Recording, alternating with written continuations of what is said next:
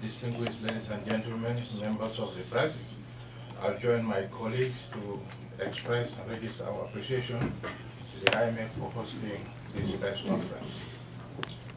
The global economy is at a crossroads. This year's annual meetings of the IMF and the World Bank are taking place against the backdrop of a significant risk for the global economy.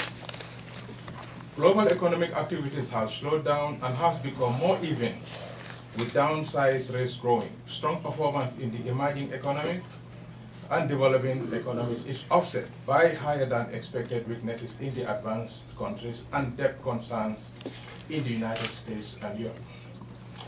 Fears of debt default in Greece and contagion, contagion to the rest of Europe and lack of political agreement in the United States on a medium-term fiscal consolidation framework have added to the negative market sentiments.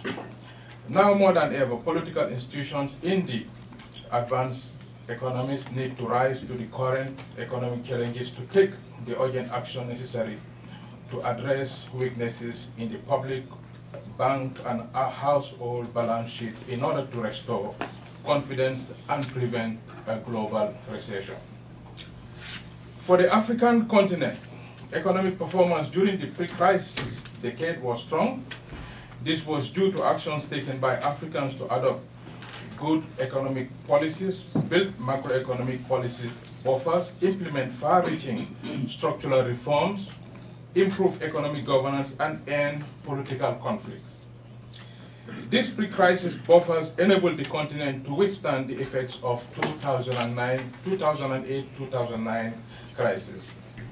However, we are yet we are not yet out of the woods. Recent developments in the global economy pose downside risks to the to sub-Saharan Africa, particularly heightened pressures on the balance of payments, reduced export demands, and declining government revenue with serious implications for ongoing investment in agriculture, investment, employment, and achievement of the Millennium Development Goals. This is exacerbated by high food and energy prices. The risks are even greater this time around as we have already used up large part of our macroeconomic policy buffers, i.e. fiscal space, external reserves, to mitigate the impact of the crisis. Given this limited policy space, the international community must stand ready to provide additional concessionary financing and policy advice to the innocent bystanders impacted by the crisis. In sub-Saharan Africa, policy is focused on rebuilding policy buffers, strengthening financial institutions, fostering inclusive growth, and strengthening social safety nets. All of this has to be done with a view, has been done with a view to maintaining medium-term fiscal sustainability. So you can see the enormity of the task at hand.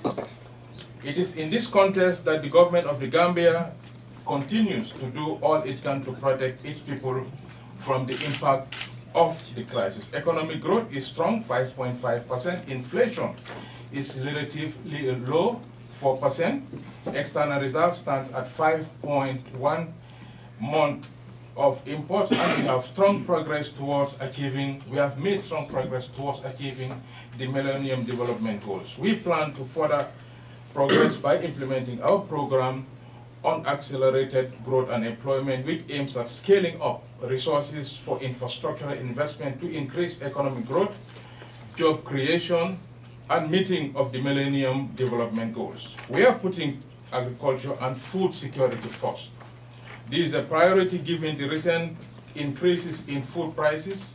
Accordingly, the Gambia National, Inve National Agricultural Investment Program was launched with the objective of achieving increased contribution to agriculture and GDP whilst ensuring food security through the targeting on investment in land preparation, irrigation, and provision of agricultural inputs. Ensuring, in ensuring attainment of these targets, budgetary allocations to this sector has been doubled and will continue to be increased towards the attainment of the 2003 Maputo Declaration target. I will echo the call from my colleagues that we need investment from the uh, uh, advanced countries in our energy.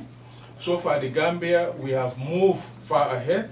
We, are, we have liberalized the energy sector, and we also already have a, a, an a independent power producer agreement ongoing, and this has positively impacted on our uh, energy sector. Economic management in our countries has been made more difficult by the crisis emanating from the advanced economies. Our economies are irrevocably bound, bound together.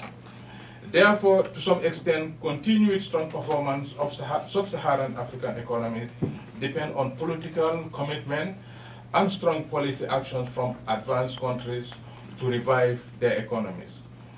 With this, there are dark days ahead.